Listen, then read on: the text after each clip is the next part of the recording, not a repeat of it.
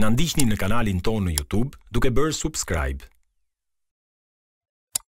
Muaji Muharrem, që është muaj i parë i vitit hënor, është e pëlqyer që në këtë muaj njeriu të shtojë disa adhurime.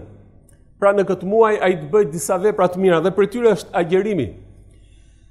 Thotë profeti alejhi salatu ue selam në hadith afdalu siyam ba'da ramadan shahrullah al-muharram.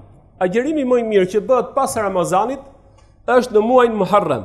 Pra agjerimi më i mirë që bëhet pas Ramazanit është në muajin Muharrem. Muaji Muharrem e ka marrë këtë mirësi dhe këtë vlerë sepse është prej muajve të shenjtë. Po gjithashtu ditët më të mira që agjerohet në muajin Muharrem është dita e 10 e Muharremit, që quhet dita e Ashurës.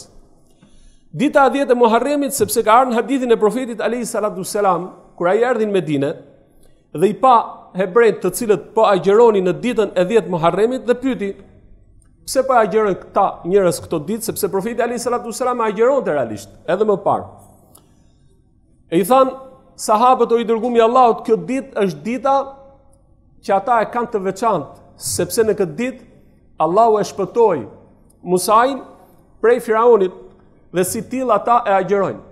Atëherë tha profeti alejhi salatu ue selam ne muslimanët e respektojmë më shumë Musain dhe urdhëroi profeti alejhi salatu ue selam dhe besimtarët muslimanët që ta agjeronin këtë ditë.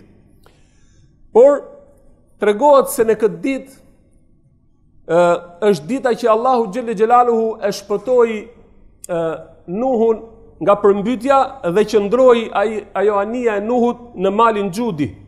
Dhe si i tillë Nuhu alejhi salatu selam e agjeroi këtë ditë si shenjë falënderimi ndaj Zotit. Dita e 10 e Muharremit ka qenë një ditë që arabët në kohën e profetit alejhi salatu selam para ardhjes së Islamit ka qenë një ditë e shenjtë për ata. Sepse edhe ata e kishin këtë ditë që e agjeronin. Prandaj dhe profeti alejhi salatu ue selam në fillimin në fillim të Islamit, besimtarët e kishin detyrë që ta agjeronin ditën e 10 Muharremit për shkak të vlerave dhe mirësive që mbart kjo ditë. Por kur erdhi obligimi i muajit Ramazanit, atëherë u ba obligim muaji i Ramazanit Edhe u bë sunet, pra e pëlqyeshme agjerimi i ditës së Muharremit, pra ditës së 10 të Muharremit, që do thotë nuk është detyrë, por është e pëlqyeshme.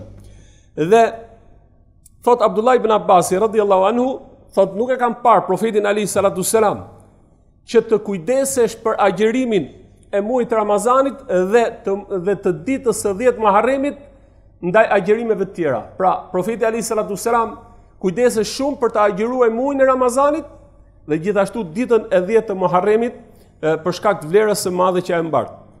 Thotë profeti alejhi salatu ve selam kush e agjëron këtë ditë se çfarë shpërblimi ka.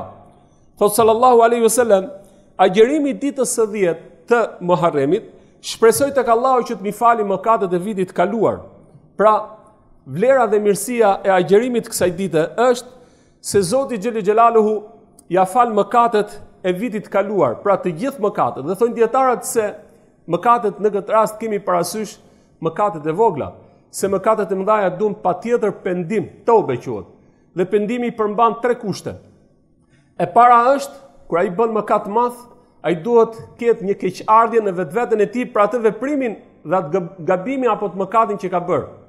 E dyta, të heqi dorë menjëherë prej atij gabimi dhe atij mëkati. Dhe e treta, ta vendosi në zemrën dhe në shpirtin e tij se kurrë nuk do ta përsërisi ma këtë mëkat. Nëse plotëson këto kritere, pra këto tre kushte, atëherë mëkati i madh falet me lejen e Allahut xhele xhelaluhu. Lezër, Na ndiqni në kanalin tonë në YouTube duke bërë subscribe.